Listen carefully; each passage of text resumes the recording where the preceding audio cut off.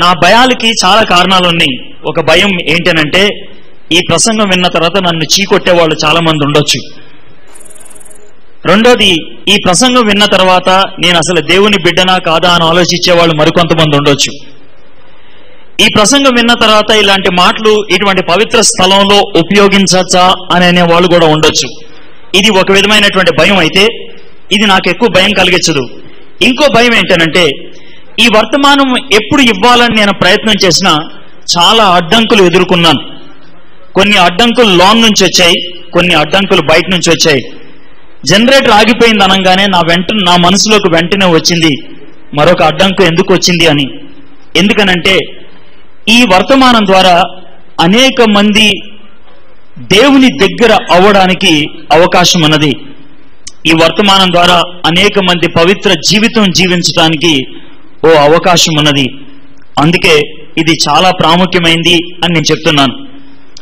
బైబిల్లో ఉన్నటువంటి ఒక చిన్న వాక్యాన్ని ఆధారం చేసుకొని దాంట్లోంచి ప్రాముఖ్యమైనటువంటి ఒక అంశంలోకి వెళ్ళాలని ఇష్టపడుతున్నాను. నిర్గమాకాండం ఇరవై ఎనిమిదో అధ్యాయం నలభై రెండు నలభై మూడు వచనాల్లో ఉన్నటువంటి వాక్యాన్ని నేను చదివి అంశంలోకి మనం వెళ్దాం.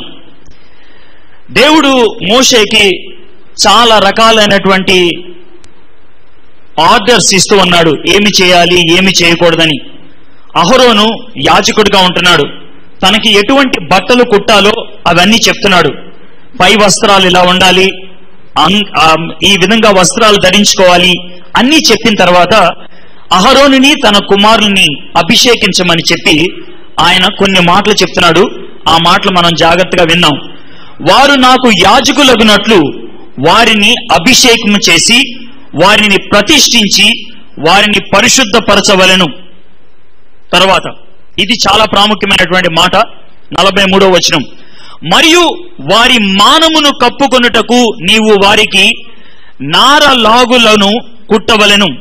వారు ప్రత్యక్ష గుడారములోనికి ప్రవేశించినప్పుడైనను పరిశుద్ధ స్థలములో సేవ చేయుటకు బలిపీఠమును సమీపించినప్పుడైనను వారు దోషులై చావకయుండినట్లు అది అహరోను మీదను అతని కుమారుల మీదను ఉండవలెను. ఇది అతనికి అతని తర్వాత అతని సంతతికి నిత్యమైన కట్టడ. దేవుడు చాలా సింపుల్గా చెప్తున్నటువంటి మాట ఏంటి అనంటే కొంచెం నవ్వు రావచ్చు. నేను ఉపయోగించేటువంటి కొన్ని పదాలు. కానీ సీరియస్గా తీసుకోవాలన్నదే నా ఆశ. దేవుడు మోషేకి ఏమని చెప్తున్నాడంటే అహరోను యాజకుడు తన కుమారులు యాజకులు పరిశుద్ధ స్థలములోకి వచ్చేటప్పుడు నన్ను కలుసుకోవడానికి వచ్చేటప్పుడు పై వస్త్రాలు ఎలా ఉండాలో ఇప్పుడు దాకా చెప్పాను. అయితే ఇంకొక వస్త్రం గురించి చెప్తున్నాను. మామూలు మన భాషలో చెప్పాలంటే వాళ్ళు అండర్ వేర్ కలిగి ఉండాలి అని చెప్తున్నాడు. ఆయన చాలా సింపుల్గా చెప్పినటువంటి మాట. చెడ్డీ వేసుకొని ఉండాలి అని చెప్తున్నాడు. వాళ్ళు ఒకవేళ ఆ అండర్ వేర్ లేకపోతే ఆయన ఇచ్చినటువంటి మాట చూడండి. వారు దోషులై చావక యుండునట్లు వాళ్ళు దోషులై చావక యుండునట్లు వాళ్ళు ఖచ్చితంగా అవి ధరించుకొని లోనకి రావాలి అని చెప్తున్నాడు. ఈ మాట నేను మొదటిసారి చదివినప్పుడు నవ్వొచ్చింది. దేవుడు ఇంత డీటెయిల్స్లోకి వెళ్ళాలా? లోన ఏమున్నాయి ఏమి లేవు ఆయనకి ఎందుకు అనేటువంటిది నాకు వచ్చింది అయితే ఈ మాటలు చదువుతున్నప్పుడు నాకు రెండు విషయాలు గుర్తొచ్చాయి. లోన చెట్టి ఉందా లేదా అనేది ప్రపంచంలో ఇద్దరికే తెలుసు. ఎవరు ఆ ఇద్దరు అంటారేమో ఒకటి నీకు రెండోది దేవుడికి. వీళ్ళిద్దరికే తెలుసు. నవ్వద్దు చాలా సీరియస్గా ఆలోచించండి. ఎందుకు దేవుడు చెప్తున్నాడంటే కొన్ని విషయాలు ఉన్నాయి. అవి నీకు నాకు మాత్రమే తెలుసు ఇంకెవరికి తెలియదు ఆ విషయాలలో నువ్వు జాగ్రత్తగా ఉండాలి అని అంటున్నాడు. ఒక ఆయన పరిశుద్ధత అంటే ఏంటి అని అంటే ఆయన ఇచ్చినటువంటి నిర్వచనం నీకు మాత్రమే నీ దేవుడికి మాత్రమే తెలిసేది పరిశుద్ధత. ఎవ్వరూ చూడనప్పుడు నువ్వు ఏమి ఆలోచిస్తావో ఏమి చేస్తావో అది నీ పరిశుద్ధతను సూచిస్తుంది అని అంటున్నాడు. ఈ విషయం నాకు గుర్తొచ్చింది. దేవుడే ఉన్నాడు తెలుసా? నా సన్నిధిలోకి వచ్చేటప్పుడు నువ్వు పవిత్రంగా ఉండాలి. నేను చెప్పిన మాటలు తూచా తప్పకుండా తప్ప నువ్వు పాటించాలి. మనం చాలా సార్లు బయటకి వేరుగా కనబడటానికి ప్రయత్నం చేస్తాం. కానీ దేవుడే అంటున్నాడు తెలుసా? నేను బయట కాదు లోన డీటెయిల్స్ చూస్తాను అని అంటున్నాడు. ఆ డీటెయిల్స్ కనుక సరిగ్గా లేకపోతే ఏమవుతుందో చెప్తున్నాడు తెలుసా? దోషులై చస్తారు అని అంటున్నాడు. You will die if you are not honest you will die if you are not holy మీరు పవిత్రులు కాని ఎడల మీరు యథార్థవంతులు కాని ఎడల మీరు సస్తారు సావకుండినట్లు జాగ్రత్తగా చూసుకోండి అని అంటున్నాడు. నేను ఇక్కడ ఒక ప్రాముఖ్యమైన మాటను ఆలోచించాలనుకున్నాను దేవుడు ఏదైనా మనకు చెప్పినప్పుడు అది పరోక్షంగా కావచ్చు లేకపోతే నేరుగా కావచ్చు.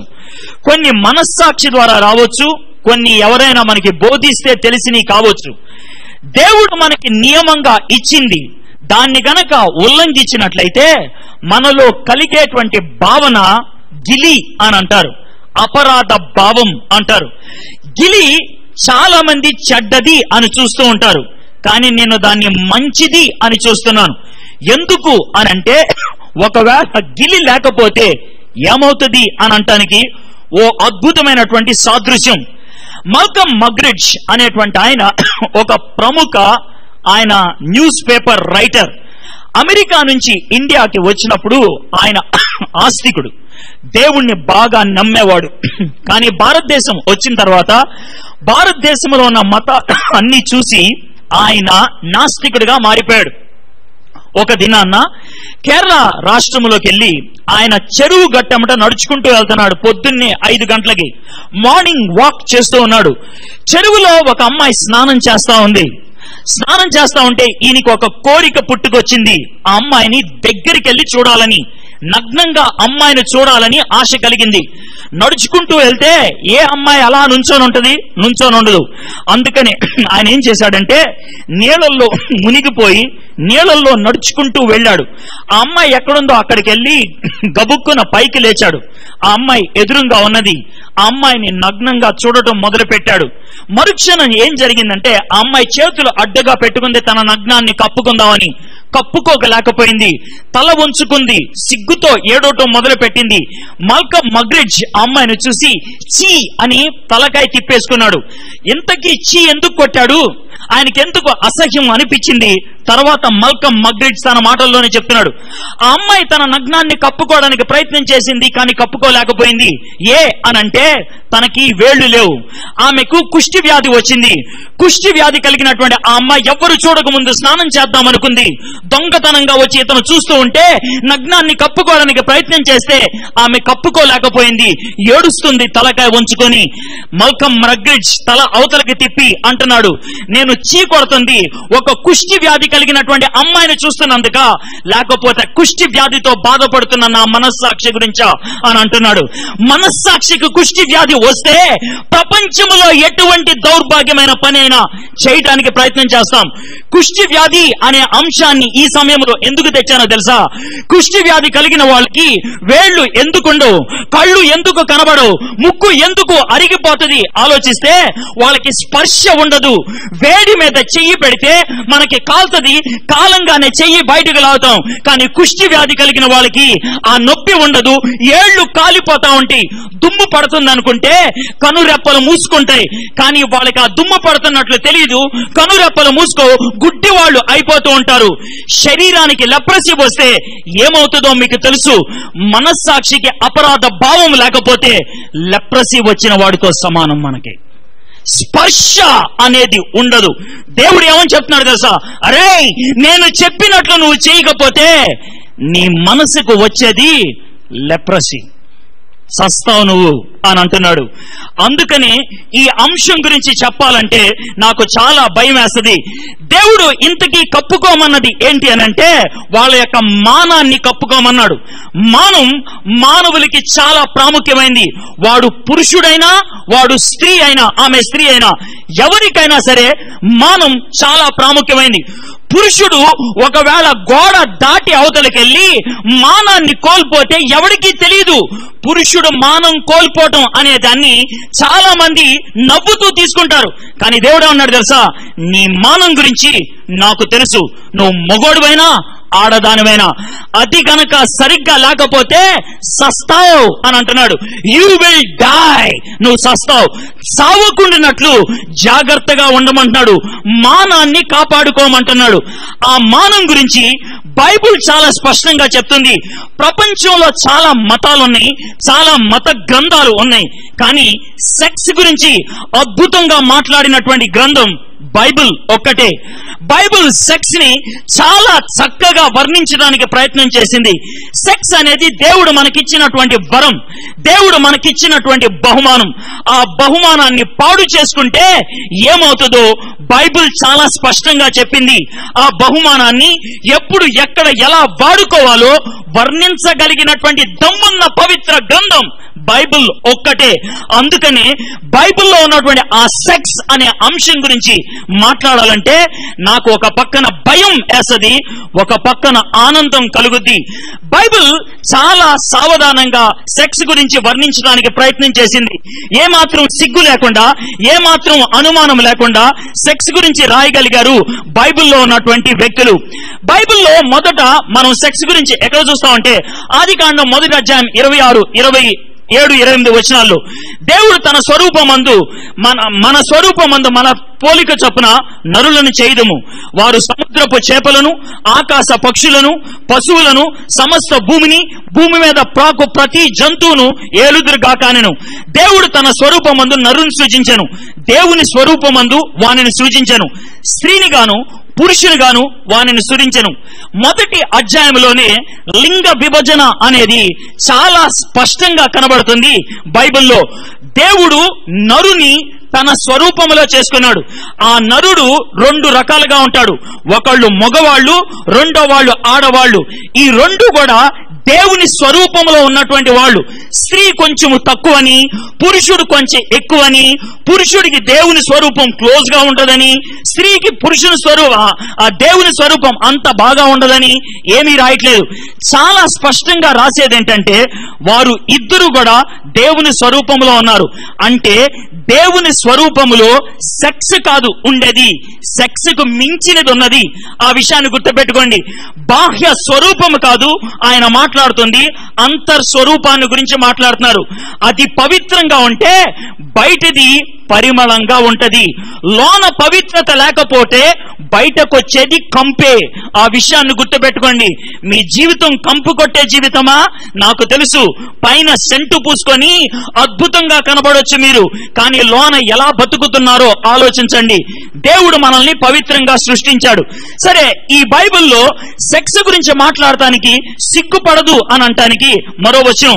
రెండో అధ్యాయం ఇరవై ఐదో వచనం ఆది కాండము అప్పుడు ఆదామును అతని భార్య వారిద్దరును దిగంబరులుగా నుండిరి. అయితే వారు సిగ్గు ఎరుగక యుండిరి. దేవుడు వాళ్ళిద్దరిని లైంగికంగా వేరు వేరు వ్యక్తులుగా చేశాడు. వాళ్ళిద్దరూ ఒకళ్ళనొకళ్ళు చూసుకోగలిగారు. ఇద్దరు దిగంబరులుగా ఉన్నారు. కానీ వాళ్ళకి సిగ్గు లేదు.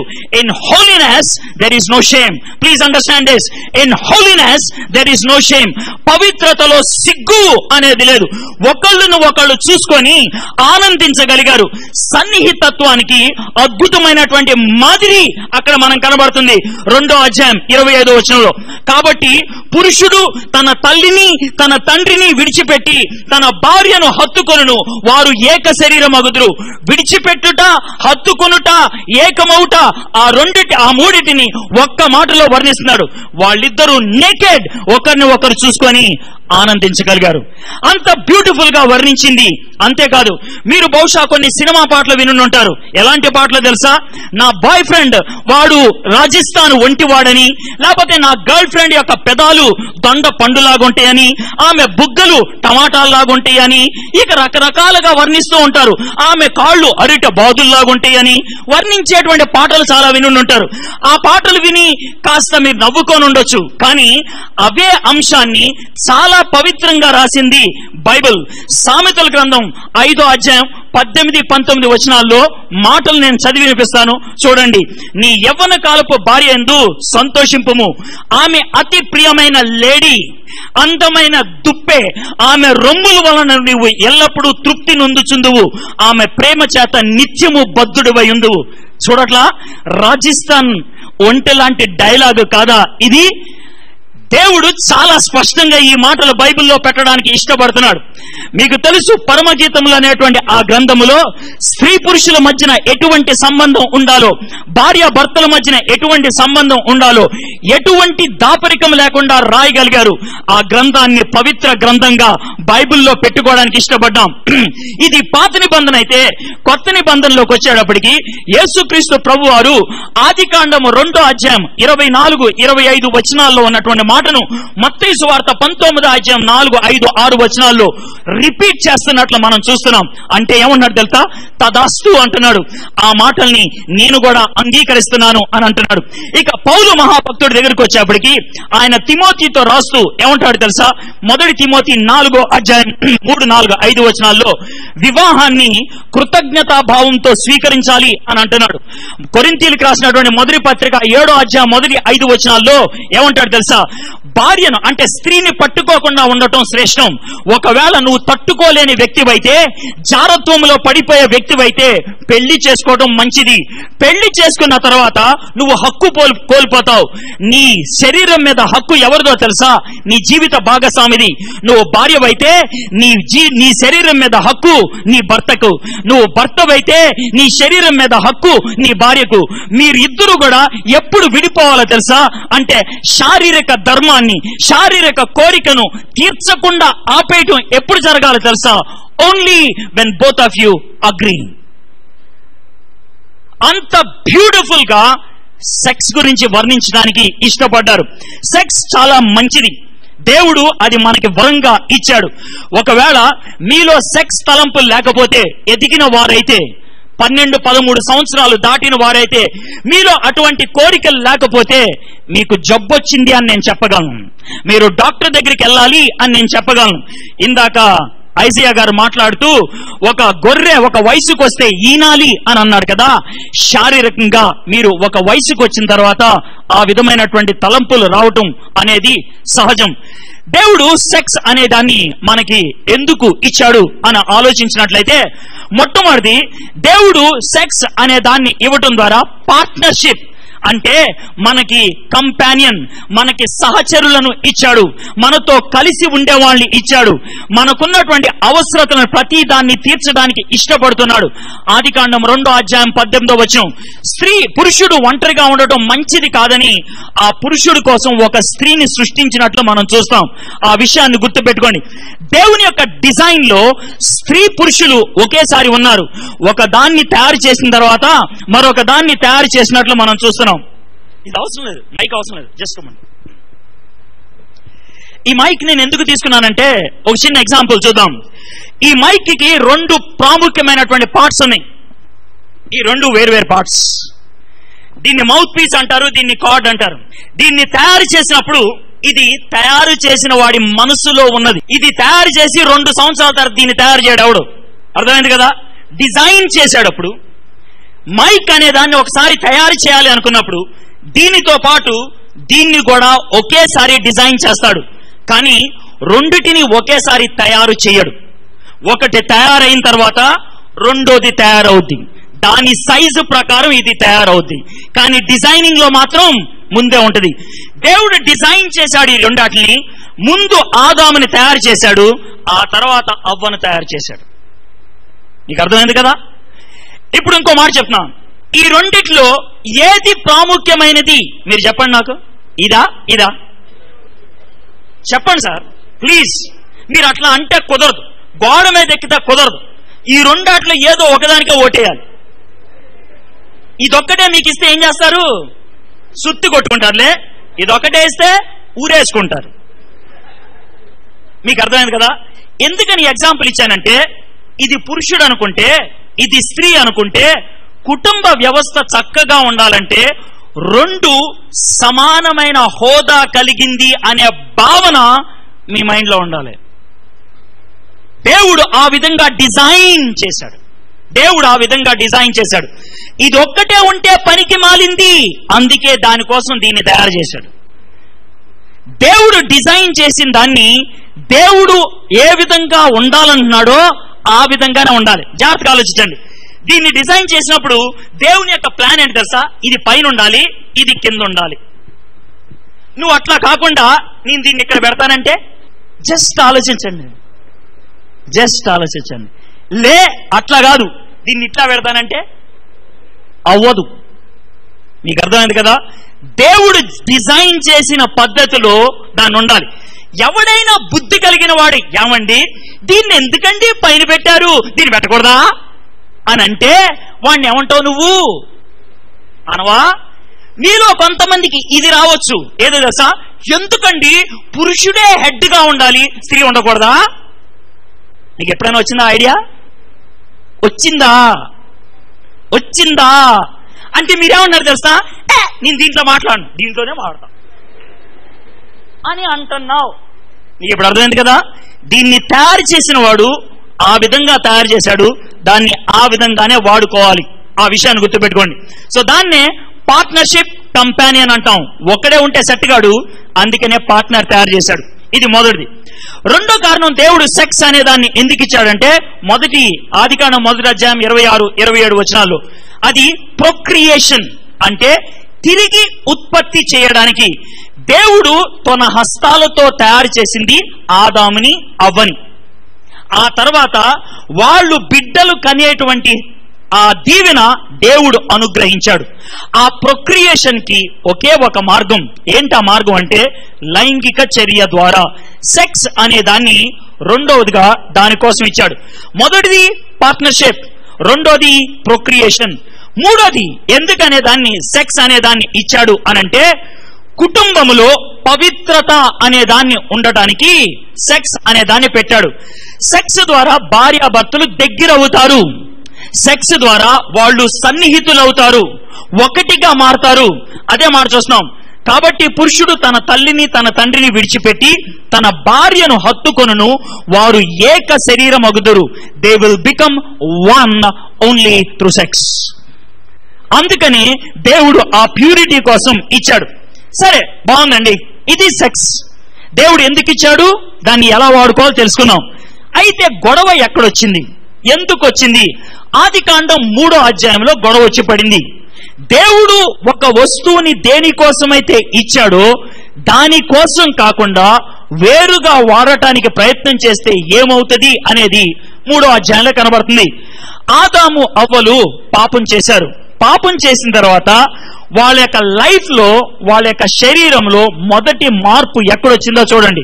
ఆది కాండం మూడో అధ్యాయం ఏడో వచ్చిన నుంచి. అప్పుడు వారిద్దరి కన్నులు తెరవబడిను. వారు తాము దిగంబరులమని తెలుసుకొని అంజూరపు ఆకులు కుట్టి తమకు నేను ఆగిపోయాను కావాలని. ఎందుకో తెలుసా? అప్పుడు దాకా ఇప్పుకోనున్న వాళ్ళకి సిగ్గు అనిపించలా ఆ తర్వాత కప్పుకోవాలనుకుంటున్నారు. ఎందుకో తెలుసా? సిగ్గు అనిపించి కానీ ఇప్పుడు ట్రాజిడీ ఏంటి తెలుసా? ఆ కప్పుకున్న వాటిని తీసేస్తున్నారు. మనం ఏ పరిస్థితిలో ఉన్నాం ఒకసారి ఆలోచించుకోండి. అర్థమైందా మీకు ఇప్పుడు? సిగ్గుతో కప్పుకున్నారు అప్పుడు. వాళ్ళకి అపరాధ భావం ఉన్నది. ఇప్పుడు దాన్ని ఇప్పేస్తున్నాం మనం. అంటే మనం కోల్పోయింది ఏంటో తెలుసా? అపరాధ భావం. సిగ్గు లేదు. సిగ్గు లేదు. ప్రపంచానికి భయపడాల్సింది ఒకే ఒక వ్యక్తికి. ఎవడో తెలుసవాడు సిగ్గు లేనోడు భయం లేనోడు. సిగ్గు లేనోడు భయం లేనోడు ఏం కావాలంటే అది చేస్తాడు. ఏది కావాలంటే అది చేస్తాడు. నీకు ఈ మాటలు ఏంటంటే కోపం వస్తుందా? సిగ్గు పూర్తిగా పోయిందనమాట నీకు. నాకు తెలుసు. నీకు లేదన్నమాట. సిగ్గుంటే తల ఉంచుకుంటావు నువ్వు చేసినటువంటి తప్పులకి బాధపడతావు. ఎన్నిసార్లు మన ఆలోచనలో వేరే వాళ్ళ బట్టలు ఇప్పేశాం? ఆలోచించుకోండి. కొన్ని కొన్ని అడ్వర్టైజ్మెంట్స్ చూస్తా ఉంటే నాకు చాలా ఆశ్చర్యం అనిపిస్తుంది. ఆ అడ్వర్టైజ్మెంట్ ఏంటికంటే మగోళ్ళకి గెడ్డం వస్తుంది గెడ్డం తీసుకోవడానికి బ్లేడ్ కావాలి. ఆ బ్లేడ్కి అడ్వర్టైజ్మెంట్ వేస్తాడు. దాంట్లో మొదట కనబడేది ఏంటంటే చెడ్డీ వేసుకున్న అమ్మాయి. బిగ్నీ సూట్లో ఉన్న అమ్మాయి. ఎందుకు వచ్చిందో అక్కడ అర్థం కాదు. కానీ దాన్ని చూస్తే గాని బ్లేడు కొనవు నువ్వు. అది మన బతుకు. అది మన బతుకు. సిగ్గుపోయినటువంటి సమాజంలో మనం ఉన్నాం. భయము లేనటువంటి సంస్కృతిలో మనం జీవిస్తున్నాం. ఆదాము అవ్వలు మనకంటే చాలా బెటర్ ఎందుకంటే సిగ్గేసింది వాళ్ళు కప్పుకున్నారు మనకి సిగ్గు లేదు ఇప్పుకుంటున్నాం మనం.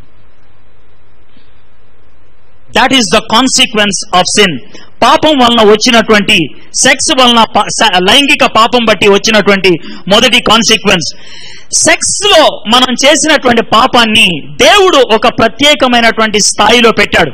కొరింతీలకు రాసినటువంటి మొదటి పత్రిక ఆరో అధ్యాయం పద్దెనిమిదో వచనంలో ఉంచిన మాటలు నేను చదువుతాను వినండి. జారత్వమునకు దూరముగా పారిపోడి మనుష్యుడు చేయు ప్రతి పాపము దేహమునకు వెలుపట ఉన్నది. కానీ జారత్వము చేయువాడు తన సొంత శరీరమునకు హానికరముగా పాపం చేయుచున్నాడు. మీ దేహము దేవుని వల్ల మీకు అనుగ్రహించబడి మీలోనున్న పరిశుద్ధాత్మనికి ఆలమై ఉన్నదని మీరు ఎరుగరా? మీరు మీ సొత్తు కారు విలువబడి కొనబ కొనబడిన వారు గనుక మీ దేహముతో దేవుణ్ణి మహిమపరచండి. లైంగిక పాపములో పాలు పంపులు కలిగి ఉంటే ఈ శరీరాన్ని పాడు చేస్తున్నాం. ఈ శరీరం పరిశుద్ధాత్మనిక ఆలయము అని చెప్తూ ఉన్నాడు. లైంగిక పాపం బట్టి వచ్చేటువంటి పర్యవసానాలు ఏంటి అని ఆలోచిస్తే మొట్టమొదటిది ముడుచుకుపోయేటువంటి జీవితం ఆ స్థాయి దాటిపోతే గనక సిగ్గు లేనటువంటి జీవితం. మీరు ఏ జీవితంలో ఉన్నారో నాకు తెలియదు కొంతమంది ముడుచుకొని జీవిస్తారు. ఎక్కడికి వెళ్ళినా భయం బిడియం ఉంటుంది. ఇది ఒక పరిస్థితి. అయితే ఆ భయం బిడియం అనేటువంటి హోదా దాటి వెళ్ళిపోతే సిగ్గు లేనటువంటి పరిస్థితుల్లో ఉంటాం. ఈ మధ్య కాలంలో కాలేజీల్లో కొన్ని డైలాగులు వింటూ ఉంటారు. చాలా మంది కాలేజీ పిల్లలు ఉన్నారు. మీరు కూడా ఈ డైలాగులు విని ఉంటారు. సెక్స్ గురించి జాగ్రత్తగా వినండి. నేను నేను కొంతమందిని చాట్ చేస్తూ వాళ్ళని అడిగాను. సెక్స్ గురించి మీ క్లాస్మేట్స్ ఏమంటారు అని. వాళ్ళు ఇచ్చినటువంటి జవాబు. ఒక ఆమె ఇచ్చినటువంటి జవాబు. Everybody is doing it and if you don't there is something wrong with you ప్రతి ఒక్కళ్ళు చేస్తున్నారు. ఇది నువ్వు చేయకపోతే నీకేదో జబ్బు ఉందని అర్థం. ఇది మొదటిది. రెండోది sex is no big deal it's just recreation without consequence sex అనేది ఒక పెద్ద విషయం కాదు. సరదా కోసం చేసేటువంటి ఒక చిన్న పని. Sex is a basic need of life like food and water నీరు ఆహారము ఎంత ప్రాథమికమైనటువంటి అవసరమో సెక్స్ కూడా అంతే ప్రాథమికమైంది ప్రాథమికమైంది. సెక్స్ ఈక్వల్స్ లవ్ ప్రేమతో సమానమైనది sex you owe it to yourself to experiment sexually. How else are you going to know what you are like? నువ్వు ఎటువంటి వ్యక్తివో నువ్వు తెలుసుకోవాల్సినటువంటి బాధ్యత నీకున్నది. కాబట్టి ఎక్స్పెరిమెంట్ చేయకపోతే నీకు ఎలా తెలుసుద్ది? Having sex is being grown up sex కలిగి ఉంటే నువ్వు జీవితంలో ఎదుగుతావు. ఇది చాలా మంది చెప్తున్నటువంటి మాట. ఒకసారి నా కూతురు దగ్గర నుంచి ఒక మాట విన్నాను. అది విన్నప్పుడు నాకు షాక్ కలిగింది. ఆ తర్వాత కొంచెం సర్వే చేశాను. ఆ సర్వేలో తెలిసిన విషయాలు ఇంకా భయాన్ని కలిగించింది. మా పాప ఏడో క్లాస్ పూర్తి చేసుకొని ఎనిమిదో క్లాస్లోకి వెళ్తా ఉంది. ఆ ఇయర్లో ఆమె బర్త్డే చేసుకున్నది. ఆ బర్త్డే చాలా స్పెషల్గా నేను ట్రీట్ చేశాను. బర్త్డే తొమ్మిది గంటలకు అయిపోయింది. ఫ్రెండ్స్ అంతా వెళ్ళిపోయారు. మా పాపని తీసుకొని షారన్ బయటకు వెళ్దాం పదా అన్న. ఓకే పాప అన్నది. మీ ఇద్దరం కలిసి బయట గ్రౌండ్లోకి వెళ్ళాం. చీకటిగా ఉన్నది. ఆ భుజం మీద చెయ్యేసి నడుస్తా ఉన్నాను. చాలా విషయాలు మాట్లాడాను. మాట్లాడిన తర్వాత శరణ్ నీతో ఒక మాట చెప్పాలమ్మా అన్న. ఏంటి పప్ప అని అన్నది. నిన్నొక నిన్నొక వాగ్దానం అడుగుతాను. చేస్తావా అని అడిగాను. ఏంటి పప్ప అని అన్నది. అమ్మా నువ్వు పెళ్ళి చేసుకునేటంత వరకు కూడా ఎవరిని ముద్దు పెట్టుకోనని ఎవరి దగ్గర నుంచి ముద్దు స్వీకరించనని నాకు వాగ్దానం చేయవా అని అడిగాను. నా కూతురు ఇచ్చిన జవాబు నాకు షాక్ తగిలింది. ఆమె ఒక్కసారి చూసి papa it's a very difficult thing అని అన్నది చాలా కష్టం పప్ప అన్నది. ఎనిమిదో క్లాస్ చదువుతున్నటువంటి పాప. చాలా కష్టం పప్ప అన్నది. నాకేమనాలో అర్థం కాలేదు. ఓ పక్కన భయం మరో పక్కన కోపం. ఏం చేయాలో అర్థం కాక పిడికిళ్ళు ఇలా బిగించి తలకాయ ఉంచుకొని నేను ఒక సేవకుణ్ణి నా కూతురు ఇలాంటి డైలాగ్ వేస్తుంది. ఏం చేయాలి అని ఆలోచిస్తా ఉంటే ఒక్క నిమిషం తర్వాత పప్ప కంగారు పడదు. నేను కష్టం అన్నాను కానీ ఇంపాసిబుల్ అనలేదు కదా? ఇంపాసిబుల్ అనలేదు కదా? నీ చేతిలో చెయ్యేసి చెప్తున్నాను పాప. పాప that's my promise that's my promise నా కూతురు స్ట్రైట్గా దట్స్ మై ప్రామిస్ అనంటే ఎలా ఉండేదో నాకు తెలియదు ఆ విధంగా షాక్ ఇచ్చిన తర్వాత దట్స్ మై ప్రామిస్ అన్నది కాబట్టి నా కూతురు మీద నాకు నమ్మకం ఉన్నది. తన భర్తను కలుసుకునేదాకా ఆమె పవిత్రంగా ఉంటుందని. I want to ask you the same question are you holy are you holy నువ్వు పవిత్రంగానే ఉన్నావా? నీ మానం ఇంకా పవిత్రంగానే ఉన్నదా? దాట్స్ మై క్వశ్చన్ భారతదేశంలో పదవ క్లాస్కి వచ్చేటువంటి పిల్లల్లో ప్రతి పది మందిలో ముగ్గురు మానం కోల్పోతున్నారు. ఆ ముగ్గురులో నువ్వు ఉన్నావా? I'm asking this question straight away straight away if you have lost it my friends దేవుడు అంటున్న మాట సస్తావు ఇప్పుడైనా జీవితానికి జాగ్రత్త పడు అని అంటున్నాడు. ఎందుకని ఈ విధంగా జరుగుద్ది? దాని గురించి కొన్ని మాటలు చెప్పి I want close it's a very short message ఏంటి? సెక్స్ అనే దాన్ని ఎందుకు ప్రయోగించడానికి ప్రయత్నం చేస్తాం? సెక్స్ని లవ్తో ఎందుకు పోల్చడానికి ప్రయత్నం చేస్తాం? అని అంటే ప్రేమను మనం సరిగ్గా అర్థం చేసుకోలేదు. ప్రేమ అనే పదాన్ని సరిగ్గా నిర్వర్తించలేకపోయాం ప్రేమకు సరి అయినటువంటి డెఫినేషన్ ఇవ్వలేకపోయాం.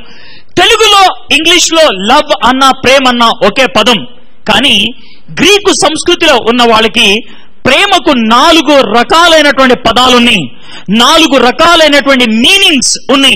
ఆ నాలుగు పదాలు మానవుని జీవితంలో నాలుగు స్థాయిలను సూచిస్తూ ఉన్నది. అవేంటో చెప్తాం. మనం పుట్టంగానే మనల్ని మొట్టమొదటి మనం మొట్టమొదటిగా గుర్తుపట్టగలిగేది ఎవరినో తెలుసా? మన అమ్మను. అమ్మను ఎలా గుర్తుపడతామో తెలుసా? చూపు ద్వారా కాదు. అమ్మను గుర్తుపట్టేది స్వరం ద్వారా కూడా కాదు. అమ్మను గుర్తుపట్టేది తాకిడి ద్వారా టచ్ ద్వారా. టచ్ ద్వారా గుర్తుపట్టడం మొదలు పెడతాం. ఇది మొదటి స్థాయి ప్రేమ. తల్లి తండ్రులకు బిడ్డకు మధ్యన ఉండేటువంటి ప్రేమ. ఈ ప్రేమని గ్రీక్లో స్కార్జే అని అంటారు. స్కార్జే. ఇది తొలి ప్రేమ. ఇది తొలి ప్రేమ. ఈ ప్రేమ గురించే దేవుడు మాట్లాడుతూ ఏమంటాడు తెలుసా? టచ్ ద్వారా ప్రేమను చూపించే ఆ తల్లైనా మర్చిపోద్దేమో గాని నేను మాత్రం నిన్ను మర్చిపోలను అని అన్నాడు. పాలిచ్చే తల్లి బిడ్డను మర్చిపోతుందా? బిడ్డను వదిలేస్తుందా?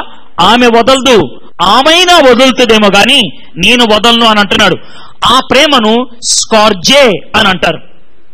రెండో ప్రేమ అదేంటనంటే ఆరు ఏడు సంవత్సరాలు వచ్చేటప్పటికి అమ్మా నాన్నలను విడిచిపెట్టి నెమ్మదిగా మన లెవెల్ అబ్బాయినో అమ్మాయినో చూసుకొని ఆడుకోవాలని ఇష్టపడతాం. ఇది స్నేహితుల మధ్యన ఉండేటువంటి ప్రేమ. తన తోటి వారితో కలిసి ఉండాలని తన తోటి వారితో గడపాలని ఆశ ఉంటది. ఈ ప్రేమని ఫిలియో అని అంటారు. ఫిలియో స్నేహితుల మధ్యన ఉండేటువంటి ప్రేమ. యేసు ప్రభు వారు ఈ ప్రేమ గురించి కూడా మాట్లాడారు. ఒక వ్యక్తి తన స్నేహితుడి కోసం ప్రాణం పెడతాడా అన్నట్లు మాట్లాడాడే అక్కడ ఆయన మాట్లాడిన ప్రేమ ఫిలియో ప్రేమ. ఇది రెండోది. ఈ ప్రేమ మనకు కూడా ఉన్నది. మూడో ప్రేమ ఇదే కొంచెం టెన్షన్తో కూడింది. పన్నెండు పదమూడు సంవత్సరాలు వచ్చేటప్పటికి మనలో భావోద్రేకాలు కొన్ని మార్పులు తీసుకొస్తాయి. ఆడపిల్లలకైతే శారీరకంగా భౌతికంగా కొన్ని ఖచ్చితమైనటువంటి మార్పులు కనబడతా ఉంటాయి. ఈ మార్పులతో వచ్చేటువంటి మూడో రకమైనటువంటి ప్రేమను ఇరాస్ అని అంటారు. ఇరాస్ అని అంటారు. ఈ ప్రేమ ఒక పురుషుడు ఇంకొక స్త్రీను చూస్తే కలిగేది. ఒక అబ్బాయి ఒక అమ్మాయిని చూస్తే కలిగేది. ఒక అమ్మాయి ఒక అబ్బాయిని చూస్తే కలిగేది. దీన్ని ఇరాస్ అని అంటారు. ఇది కూడా దేవుడు మనకి పెట్టాడు ఈ ఇరాస్ అనేటువంటి ప్రేమ. అయితే ఈ ప్రేమ మనకి పెడుతూ ఆ ప్రేమకు ఒక బాక్స్ గీశాడు దేవుడు. ఆ బాక్స్లోనే ఆ ప్రేమ ఉండాలి అని చెప్పాడు. ఆ బాక్స్ నే మనం పెళ్ళి అని అంటూ ఉంటాం. అందుకనే సండే స్కూల్లోను చర్చిలోను స్కూల్స్లోను కుటుంబంలోను ఈ ప్రేమ గురించి మన పిల్లలకి మనం చెప్పాలి. మనం చెప్పం మన పిల్లలు లేనిపోయిన పుస్తకాలు చదువుతారు లేనిపోయిన చిత్రాలు చూస్తూ ఉంటారు తమ జీవితాలు పాడైపోయిన తర్వాత మనము నెత్తి నోరు బాదుకుంటూ ఉంటాం. చాలా మంది తల్లిదండ్రులు ఉన్నారు మీ పిల్లలతో కూర్చొని ఈ విషయాలు మాట్లాడాలి. ఈ విధమైనటువంటి కోరికలు వస్తాయి ఈ కోరికను ఆ బాక్స్లోనే వాడుకోవాలి అని చెప్పాను. అయితే ఒక విషయం గుర్తుపెట్టుకోండి. ప్రపంచంలో ఈ విధమైనటువంటి భావోద్రేకాలు కలిగి ఆ భావోద్రేకాలు ఆపుకోగలిగేటువంటి పరిస్థితి ఉన్నది మనిషికి మాత్రమే. మనుషులకి మాత్రమే ఆ ప్రత్యేకత ఉన్నది. ఉదాహరణ చెప్తాను. ప్రపంచంలో ఏ జంతువైనా ప్రపంచంలో ఉన్నటువంటి ఏ చెట్టు అయినా దానికంటూ ఒక కాలం ఉంటుంది. ఉదాహరణకి ఎండాకాలంలోనే మామిడికాయలు వస్తాయి. చిత్తకార్తిలోనే కుక్కలు పిల్లల్ని పెట్టడానికి ఇష్టపడుతుంది. అది ఒక నెల మాత్రమే హీట్లో ఉంటది కుక్క. మిగిలిన పదకొండు నెలలు హీట్లో ఉండదు. ఎందుకో తెలుసా? దేవుడు వాటిని ఆ విధంగా నియంత్రించాడు. మూడు వందల అరవై ఐదు రోజులు హీట్లో ఉండగలిగేది మనిషి మాత్రమే. ఎందుకో తెలుసా? మనకి నియంత్రించుకునే శక్తిని మనకిచ్చాడు. జంతువులకి ఇవ్వలా ఆయన ఆపాడు. మనకి ఆయన ఇచ్చాడు. అందుకనే స్వేచ్ఛను ఇచ్చాడు. మన మీద బాధ్యత ఉంది. వాటికి బాధ్యత లేదు. కుక్క హీట్లో ఉన్నప్పుడు గోడ దూకెళ్ళిపోద్ది. దాని కోరిక తీర్చుకోవడానికి ఏమైనా చేస్తది? నీకు కూడా కోరిక వచ్చినప్పుడు ఎవరిని పట్టించుకోకుండా పరుదులు దాటి వెళ్ళిపోతే నిన్ను నేను కుక్క అని అనాలి మనం కుక్కలము కాదు మనుషులం. మనుషులంగా మనకి రెండున్నాయి. ఒకటి నియంత్రించుకునే శక్తి ఉన్నది రెండోది దీన్ని ఎప్పుడు వాడాలో జ్ఞానం ఉన్నది ఈ రెండు ఉన్నాయి కాబట్టి దేవుడే ఉన్నాడు తెలుసా? ఈ రెండిటిని ఉపయోగించరా నీ జీవితాన్ని పవిత్రంగా చూసుకోరా అని అన్నాడు. కుక్కలకి ఇవ్వలేదు అవి కాబట్టి పవిత్రత కుక్కలకు వర్తించదు. ఇరాస్ అటువంటిది. ఈ విధంగా ఆగు అంటే పదమూడు సంవత్సరాలకే ఈ కోరిక వచ్చిన పెళ్ళయ్యేదాకా ఆగు అని ముగ్గురు చెప్తారు. ఎవరా ముగ్గురు అంటారేమో? ఒకటి సంఘం రెండోది సమాజం మూడోది శాస్త్రం. ఈ మూడు కూడా వద్దు అని అంటది. మొదటి శాస్త్రం దగ్గరికి వెళ్తాం.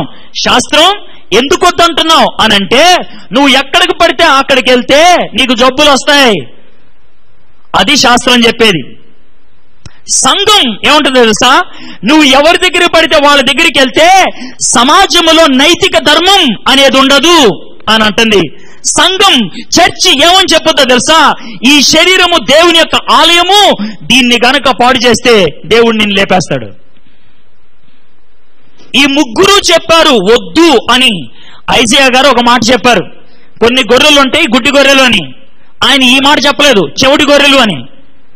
నేను ఇప్పుడు చెప్తున్నా ఇవన్నీ చెప్పిన తర్వాత కూడా బయటికి వెళ్ళి సైడ్ కొడితే నిన్నేమనాలరా?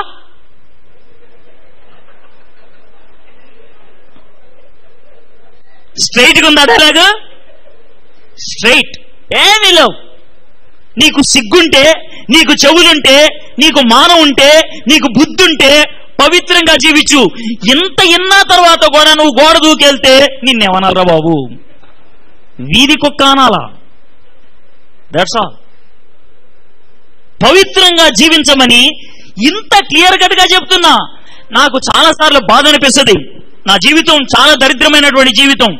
ఆ దరిద్రమైనటువంటి పరిస్థితుల్లోకి వెళ్ళడానికి నేను వయసులో ఉన్నప్పుడు ఈ డైలాగులు నాకు ఎవడు వినిపించలా? నీకు వినబడుతున్నాయి. జాగ్రత్త. పాడైపోతావు. నా జీవితం మటాష అయిపోయినటువంటి పరిస్థితుల్లో దేవుడు నన్ను నిలబెట్టగలిగాడు. మరి నీకు నిలబెట్టడానికి అవకాశం కూడా ఉండదేమో. అందుకే ఈ దినాన్ని ఆలోచించు అని చెప్తున్నా. ఇది మూడో ప్రేమ. నాలుగోది చిట్ట చివరి ప్రేమ దీన్ని అగాపే అని అంటారు. అగాపే ప్రేమ అనేది దేవునికి మానవునికి మధ్యన ఉండేటువంటి ప్రేమ. ఫర్ ఎగ్జాంపుల్ ఇందాక మైక్ గురించి మాట్లాడాను. ఈ మైకి మూడు రంధ్రాలు పెట్టారు. ఎందుకో తెలుసా? ఈ రంధ్రాల్లో ఏది పడితే అది పెట్టలేం. ఈ రంధ్రాల్లోకి ఇదే రావాలి. ఈ రంధ్రాలు దానికోసమే తయారు చేశాడు. అదేవిధంగా దేవుడు మనల్ని సృష్టించినప్పుడు మనలో ఒక శూన్యాన్ని పెట్టాడు. ఆ శూన్యాన్ని ఎవరు నింపగలరంటే సాక్షాత్తు దేవుడు మాత్రమే నింపగలడు. ఈ శూన్యాన్ని గర్ల్ ఫ్రెండ్తో కానీ బాయ్ ఫ్రెండ్తో కానీ సినిమా హీరోతో కానీ సినిమా హీరోయిన్లతో కానీ డబ్బుతో గాని హోదాతో గాని దేంతో నింపుకుందామన్నా అది నిండదు ఆ ప్రేమను ఆ శూన్యాన్ని నింపగలిగేది సాక్షాత్తు దేవుడు అక్కడే అయితే ఇక్కడ ఒక లింక్ చూపిస్తా. ఎవరైతే అగాపే ప్రేమను అనుభవిస్తారో దేవునితో ఆ ప్రేమ సంబంధం కలిగి ఉంటారో మిగిలిన మూడు ప్రేమలు వాటి స్థాయిలో అవి ఉంటాయి. ఒక వ్యక్తి ఉదాహరణ మీ ముందు పెట్టి నేను ముగిస్తాను. దేవుని ప్రేమ తాను అనుభవిస్తూ మిగిలిన మూడు ప్రేమల్ని ఎంత చక్కగా కాపాడుకోగలిగాడో మనం చూద్దాం. అతను ఎవరో కాదు అతని పేరు యోసెఫ్ పాత నిబంధనలో ఉన్నటువంటి యోసేపు. యోసేపు మీకు తెలుసు అన్నలు బావిలో పడేశారు చంపేద్దాం అనుకున్నారు చివరికి అమ్మేశారు. బానిసిగా వెళ్ళిపోయాడు. బానిసిగా ఒకళ్ళ ఇంట్లో జాయిన్ అయ్యాడు.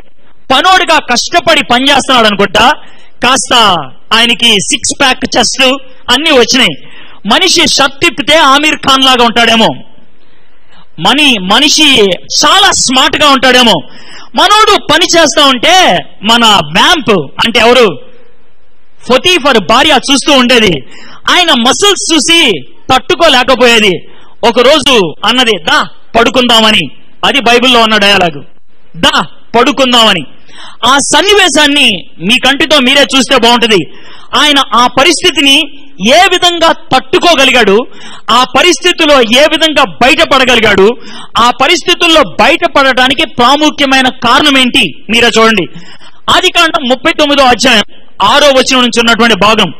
యోసేపు రూపవంతుడును సుందరుడనే ఉన్నాడు. అంటే macho man handsome guy six pack fellow అటు తర్వాత అతని యజమానుని భార్య యోసేపు మీద కన్ను వేసి తనతో సైనించమని చెప్పాను.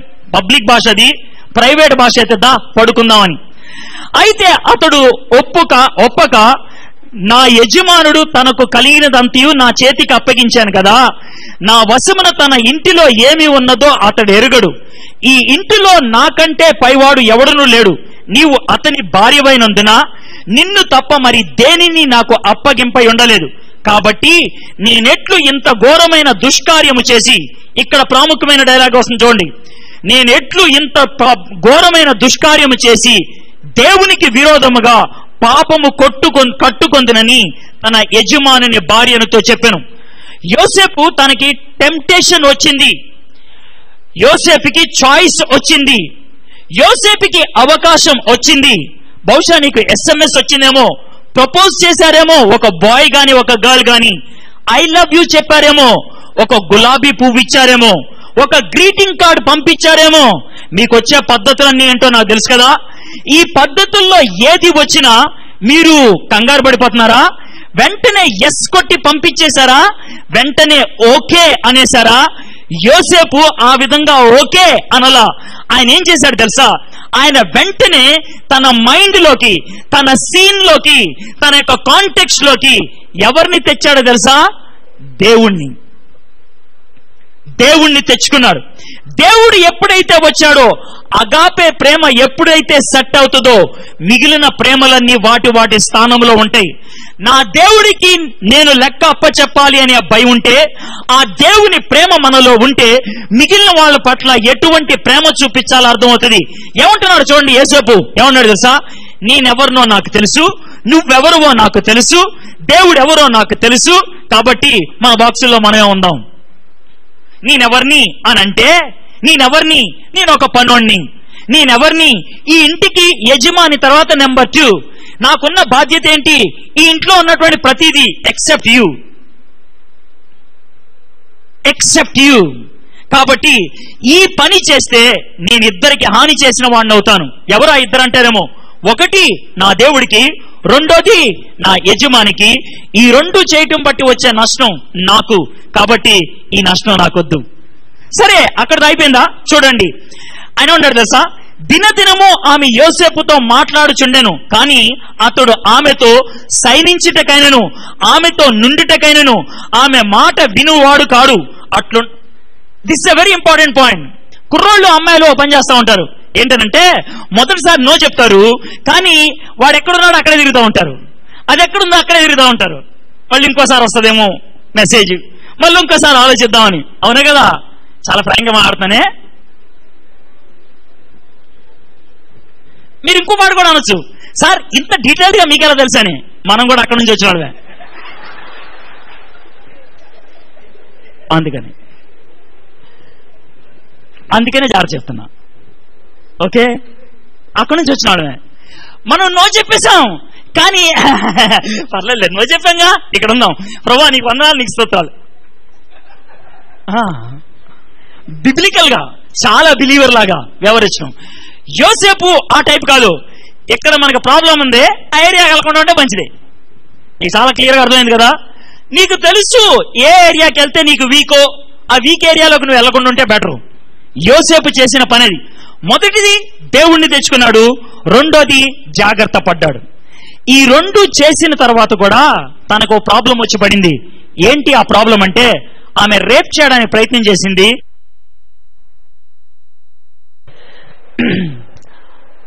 రేప్ చేయడానికి ప్రయత్నం చేసింది జైల్లో పడేసింది. కానీ జాగ్రత్త వినండి. యోసేపు జైల్లోకి వెళ్ళటానికైనా ఇష్టపడ్డాడు కానీ ఆమెతో పడుకోవడానికి ఇష్టపడలేదు. ఎందుకో తెలుసా? అగాపే ప్రేమ అంత గట్టిది. దేవుని ప్రేమ అంత గట్టిది.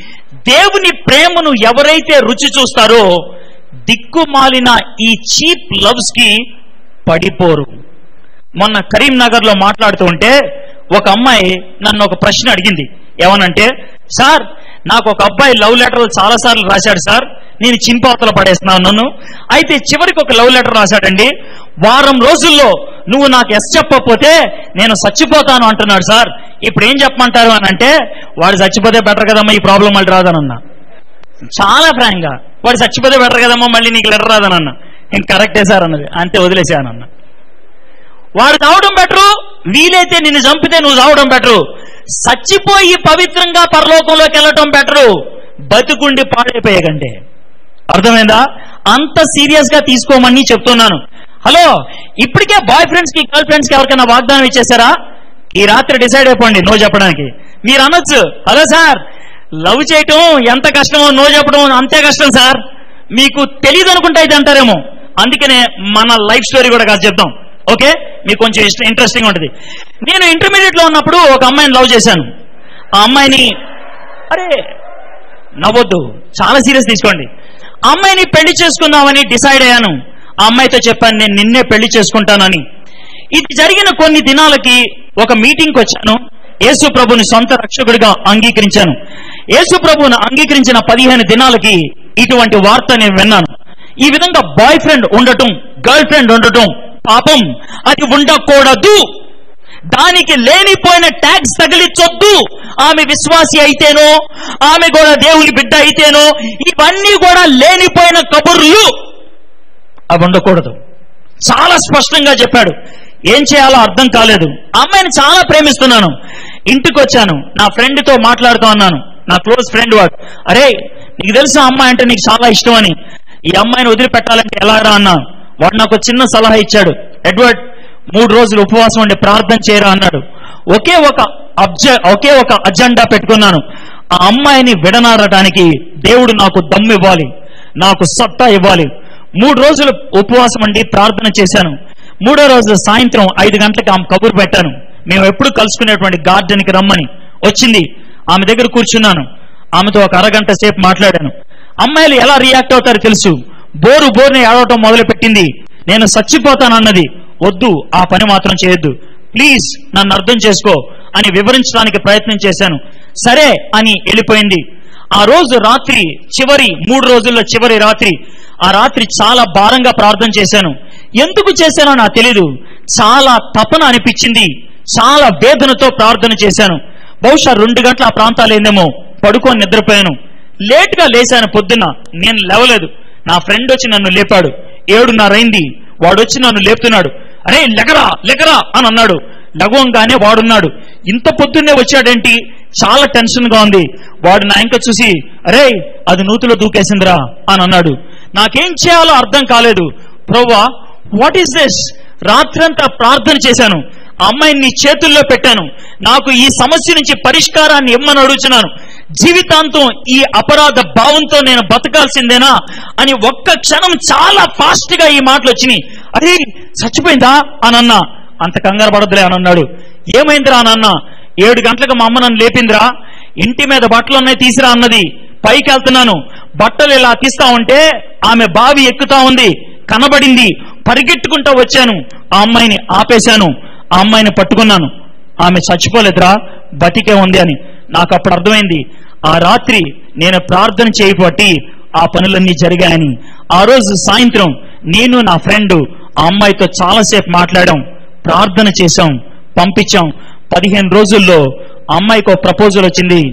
పెళ్ళైపోయింది. అయిపోయింది ఇద్దరు కొడుకుల అమ్మాయికి ఇప్పుడు ఇద్దరు ఇంజనీరింగ్ చదువుతున్నారు. మేము ఆమెకు friends that's all our life my friends నేను బ్రేక్ చేసుకోగలిగాను రిలేషన్ని కాబట్టి ఆ ధైర్యంతో ఆ సత్తాతో ఆ అనుభవంతో చేతులు జోడించి మిమ్మల్ని నేను అడుగుతున్నాను. దిక్కుమాలిన రిలేషన్స్లో మీరు ఉన్నట్లయితే బ్రేక్ చేసుకోండి. లేకపోతే నాశనం అవుతారు. దేవుని మాట ఇది. మొదటిది ఇరాస్ రెండో ప్రేమ గురించి ఆలోచిద్దాం. ఆది కాండం నలభై ఎనిమిదో అధ్యాయం ఇరవై వచనంలో ఇస్రాయేలు అంటే యాకోబు యోసేపు దగ్గరకు వచ్చి మాట్లాడుతున్నాడు. చివరిగా మాట్లాడుతున్నాడు. యోసేపుని దీవించాడు. దీవించిన తర్వాత ఈ మాట చెప్తున్నాడు. మరియు ఇస్రాయేలు ఇదిగో నేను చనిపోవచ్చున్నాను ఆయన అంటున్నాడు నేను చచ్చిపోతున్నాను. ఆయనను దేవుడు మీకు తోడై ఉండి మీ పితరుల దేశమునకు మిమ్మల్ని మరలా తీసుకొని పోను. అరే నేను చచ్చిపోతున్నాను రా కానీ ఒక వాషం గుర్తుపెట్టుకో.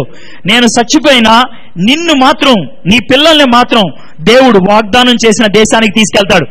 యాభయో అధ్యాయం ఆరు ఏడు వచనాల్లో మనకు అర్థమయ్యేది ఏంటంటే ఇస్రాయేలు అంటే యాకోబు చనిపోక ముందు యోసేపుని పిలిపించుకొని తన చేతిలో చెయ్యేసుకొని ఒక చిన్న వాగ్దానం చేయించుకున్నాడు. ఏంటి తెలుసా?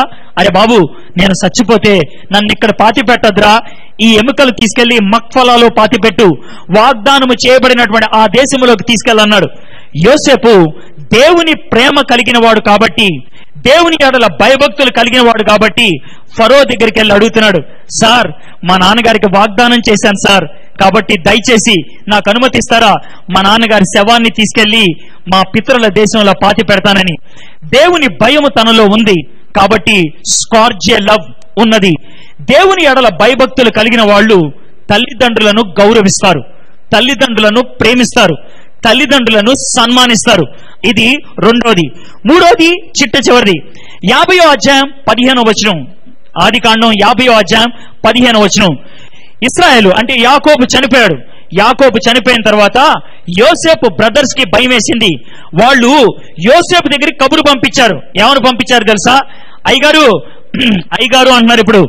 అయ్యగారు మీ నాన్నగారు చచ్చిపోయిన తర్వాత యోసేపు వాళ్ళ నాన్న ఎల్నానేగా? కానీ వీళ్ళ అడ్రస్సింగ్ చూడండి. మీ నాన్న చచ్చిపోయిన తర్వాత ఆయన ఒక మాట మాకు చెప్పాడండి. ఈ చచ్చిపోకముందు. ఏంటనంటే ఒకవేళ నేను చచ్చిపోతే మీరు తమ్ముడి దగ్గరికి వెళ్ళండిరా. ఆడి కాళ్ళ మీద పడండిరా. వాడికి ఈ మాట చెప్పండిరా. మీరు తప్పు చేశారని శిక్ష విధించొద్దని మిమ్మల్ని దారుణంగా ట్రీట్ చేయొద్దని చెప్పమనంట్రా అనంటే యోసేపు ఎలా ఆన్సర్ ఇచ్చాడో చూడండి. ఆయన ఏమన్నాడు తెలుసు? మీరు నాకు కీడు చేయనుద్దేశించిరి కానీ నేటి దినమున జరుగుచున్నట్లు అనగా బహు ప్రజలను బ్రతికించినట్లుగా అది మేలుకే ఎవరు ఉద్దేశించారంట దేవుడు ఉద్దేశించాడు అన్నదబ్బుల మధ్యన అక్కా చెల్లెల మధ్యన తోబుట్టుల మధ్యన ప్రేమ కోల్పోతున్నట్లయితే దేవుని ఎడల ప్రేమ ఉన్నటువంటి వ్యక్తులు వాళ్ళను సహితం క్షమించగలుగుతారు వాళ్ళని సహితం అంగీకరించగలుగుతారు. దీన్నే నేను ఫిలియో అని అంటున్నాను. ఫిలియో లవ్ యోసేపుకి బాగుంది. ఎందుకంటే అగాపే లవ్ ఉన్నది కాబట్టి. స్కార్జే లవ్ చక్కగా ఉన్నది. ఎందుకంటే అగాపే లవ్ ఉన్నది కాబట్టి. ఇరాస్ లవ్ పవిత్రంగా ఉంచుకోగలిగాడు. ఎందుకనంటే అగాపే లవ్ ఉన్నది కాబట్టి. నేను మిమ్మల్ని అడుగుతున్నటువంటి ప్రశ్న ఒకటే దేవుని ప్రేమను మీరు రుచి చూశారా? దేవుని ప్రేమను మీరు అనుభవించారా? యేసుక్రీస్తును సొంత రక్షకుడిగా అంగీకరించారా? నేను చెప్పాను నేను ఒక డ్రగ్ ఎడిక్ట్ని మత్తు పదార్థాలకు బానిసైపోయినటువంటి వాడిని నేను ఇంజెక్షన్ తీసుకోకుండా పడుకోలేను. అటువంటి పరిస్థితుల్లో డబ్బులు కావాల్సి వచ్చింది. ఒక కెమెరా డాన్సర్ని అయ్యాను. దరిద్రమైనటువంటి పనులు చేయించుకునే వాళ్ళు డబ్బుల కోసం. ఏ పని చేయడానికైనా సిగ్గు లేకుండా పని చేయడం మొదలు పెట్టాను ఆ పరిస్థితుల్లో ఒక దినాన్న పనికి వెళ్ళలేకపోయాను. డబ్బులు లేవు. కడుపు నొప్పి వస్తుంది. ఇంజెక్షన్ కొనుక్కోవడానికి పైసలు లేని పరిస్థితుల్లో ఆత్మహత్య చేసుకోవాలని రైలు పట్టాల పక్కన నిలబడి ఉంటే ఆ పరిస్థితుల్లో నా స్నేహితుడు వచ్చి నన్ను ఆపి నాకు యేసు ప్రభుని పరిచయం చేశాడు. ఆ దినాన్న యేసు ప్రభుని నేను సొంత రక్షకుడిగా అంగీకరించాను. డ్రగ్స్తో బాధపడుతున్నటువంటి నేను. ఆ రాత్రి కడుపు నొప్పి వచ్చింది. ఏం చేయాలో అర్థం కాలేదు. నా స్నేహితుడి దగ్గరికి వెళ్ళి అడిగాను. అరే యేసు ప్రభుని సొంత రక్షకుడిగా అంగీకరించమన్నావు. అంగీకరించాను నాలో ఉన్న అపరాధ భావాన్ని తొలగించాడు. నాకు సంతోషాన్ని ఇచ్చాడు. కానీ నాకు నొప్పి పోవట్లేదురా అన్నాడు. ప్రార్థన చేశాడు. పొద్దున్న డాక్టర్ దగ్గరికి వెళ్ళాం. డాక్టర్ని అడిగాను. డాక్టర్ గారు నాకు కడుపు నొప్పి వస్తుంది. ఎందుకు వస్తుందంటే డ్రగ్స్కి నేను బానిస అయిపోయాను. డాక్టర్ గారు నేను ఇంకా డ్రగ్స్ తీసుకోను. ఈ కడుపు నొప్పి పోవాలంటే ఏం చేయాలన్నాను. డాక్టర్ గారు అన్నారు నువ్వు డ్రగ్స్ మానేస్తే చచ్చిపోతావు డ్రగ్ తీసుకోవాల్సిందే అని అన్నాడు. నేను రూమ్కి వచ్చాను నా ఫ్రెండ్ కబురు పెట్టాను. అరే డాక్టర్ గారు డ్రగ్స్ తీసుకోమంటున్నారా? ఇది దేవుని ఆలయము దీనిలోకి డ్రగ్ పంపించడానికి వీల్లేదని అన్నాను. ఇద్దరు మోకరించి ప్రార్థన చేయడం మొదలు పెట్టాను దేవుడికి రెండే రెండు ఆప్షన్స్ ఇచ్చాను. మొదటి ఆప్షన్ దేవా ఈ నొప్పి నేను తట్టుకోలేకపోతున్నాను నన్ను తీసేసుకో అన్నాను. రెండో ఆప్షన్ లేదా నన్ను బ్రతికుంచాలి అనుకుంటే ఈ నొప్పి తీసే ప్రభా అన్నాను. అయితే నన్ను తీసేయి లేకపోతే నా నొప్పి తీసేయి అని అడిగాను. నా దేవుడు నా ప్రార్థన ఆలకించాడు. అద్భుతమైన విధంగా నొప్పి పదిహేను నిమిషాల్లో పోయింది. ఆనాటి నుంచి ఈనాటి దాకా నాకు నొప్పి రాలేదు. నా శరీరములో డాక్టర్స్ సాధ్యము కాదు అనే దాన్ని దేవుడు సాధ్యపరచగలిగాడు. ఈ దినాన్న ఒక స్త్రీను చూసి పవిత్రంగా దేవుణ్ణి ఆరాధించగలిగేటువంటి మనస్సును దేవుడు తిరిగి నాకు ఇచ్చాడు నా మనస్సాక్షిని నూతన పరిచాడు నా హృదయాన్ని నూతన పరిచాడు పవిత్రమైనటువంటి తండ్రిగా జీవించడానికి నాకు అవకాశం కల్పించాడు. ఎందుకో తెలుసా? దేవుని సమక్షంలోకి వెళ్ళి నా సిగ్గు మాలిన జీవితాన్ని నేను దేవుని ముందు పెట్టాను. నేను తప్పు చేశాను ప్రభా నన్ను క్షమించు అని అడిగాను. ఆయన నన్ను క్షమించాడు. నా జీవితాన్ని మార్చాడు. అనేక మంది జీవితాన్ని మార్చడానికి ఈ దినాన్న దేవుడు నన్ను వాడుకోవడానికి ఇష్టపడుతున్నాడు. ఒకవేళ నువ్వు కాలు జారిపోయావేమో ఒకవేళ నువ్వు చేయకూడనటువంటి పనులు చేశావేమో ఒకవేళ నువ్వు వాగ్దానాలు చేసినటువంటి పరిస్థితుల్లో ఉన్నావేమో ఈ దినాన్న దేవుని సమక్షంలో నేను పవిత్రమైనటువంటి జీవితాన్ని జీవించడానికి నేను నిర్ణయించుకున్నాను అని నువ్వు ఆలోచించినట్లయితే దేవుని సమక్షంలో నీ పాపాన్ని ఒప్పుకో. ఆయన నిన్ను క్షమిస్తాడు నిన్ను పవిత్రపరుస్తాడు నీకు నూతన జీవితాన్ని ఇస్తాడు. నువ్వు విశ్వాసవి కావచ్చు నువ్వు బైబిల్ చదివే వ్యక్తి అవ్వచ్చు నువ్వు ప్రసంగాలు చేసే వ్యక్తి అవ్వచ్చు నువ్వు సాక్ష్యాన్ని చెప్పేటువంటి వ్యక్తి అవ్వచ్చు. కానీ గుర్తు పెట్టుకో దేవుడు అహరోనుతో అన్నటువంటి మాట నా సమక్షములోకి వచ్చినప్పుడు నువ్వు పవిత్రంగా లేకపోతే నువ్వు సస్తావు అని అంటున్నాడు. నీకు తెలుసు నీ జీవితం పవిత్రమైందో కాదో నీకు తెలుసు నీ మనసు పవిత్రమైందో కాదో నీకు తెలుసు నీ ఆలోచనలు పవిత్రమైనవో కాదో ఒకవేళ నీ ఆలోచనలో నీ యొక్క తలంపుల్లో నీ యొక్క పనుల్లో పాపము చేసినట్లయితే దేవుడు ఇచ్చినటువంటి నిబంధన దాటినట్లయితే క్షమించమని అడుగుతావా? నీకు పెళ్ళైపోయిందేమో.